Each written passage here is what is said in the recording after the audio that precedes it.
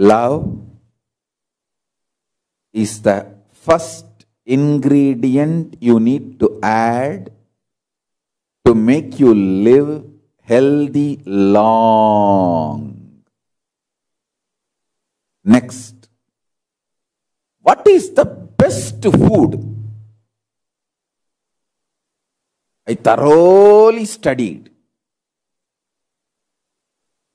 with the grace of Paramashiva, thorough study. The best food is all the things your body has already collected, processed, and stored inside you. Whether the fat or anything your body has already stored inside you is the best food for your body. It means if you want to become healthy and live long, allow body to eat all the things it has already procured and stored inside.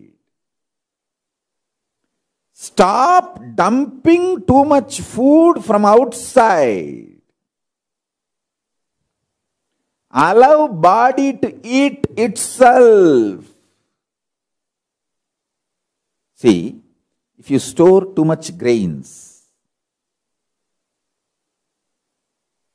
and don't use it, rats can come, other so many things can happen and it can become poison.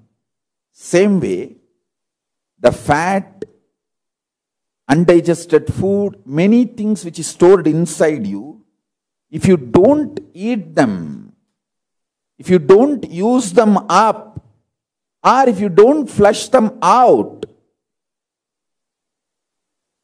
they can become poison. Best thing allow your body to eat itself everything it has collected accumulated and kept inside and whatever it cannot eat digest make it as part of itself let it send it out let it flush it out the most powerful important best food for your body is what your body has already accumulated and stored inside.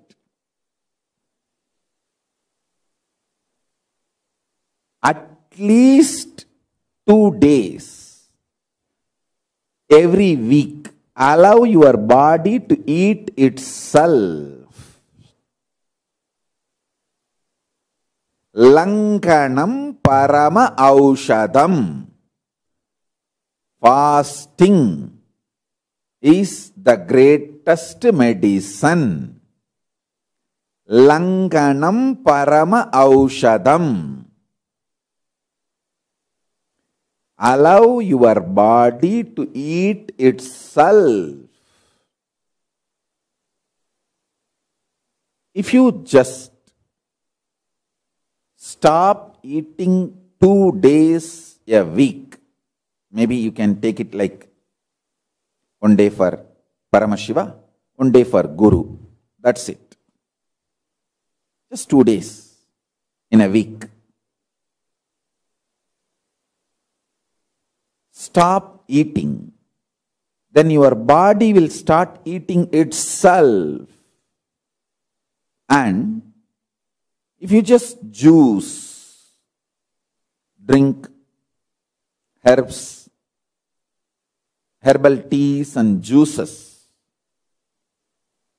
there are even herbal coffees, herbs added hot chocolates.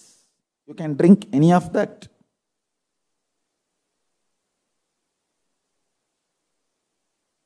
It will not only eat itself, whatever the body feels it can't eat or digest, it'll just flush all of that out.